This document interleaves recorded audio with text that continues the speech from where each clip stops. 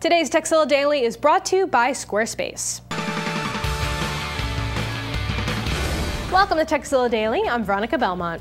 Extensions are a flexible way to improve your browser experience, but managing them all can be a pain. Well, if you're a Chrome user, I have yet another extension to make that process a whole lot easier.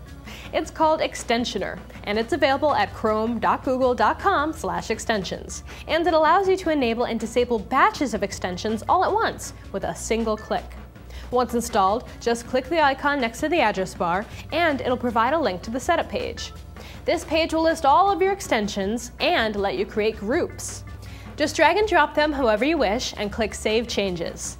Then, the next time you want to disable a specific group of extensions, click that icon and your groups will be listed with either a red background to indicate they're disabled or a green background indicating that they're enabled. Just click the group name to toggle back and forth.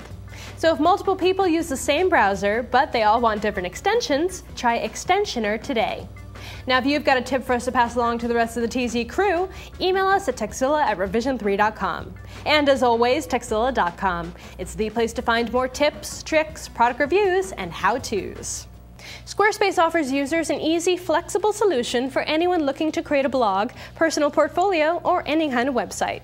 Squarespace just pushed a brand new social widget for geolocation services that displays your most recent check-ins from Foursquare, Gowalla, and Facebook Places on a live Google map.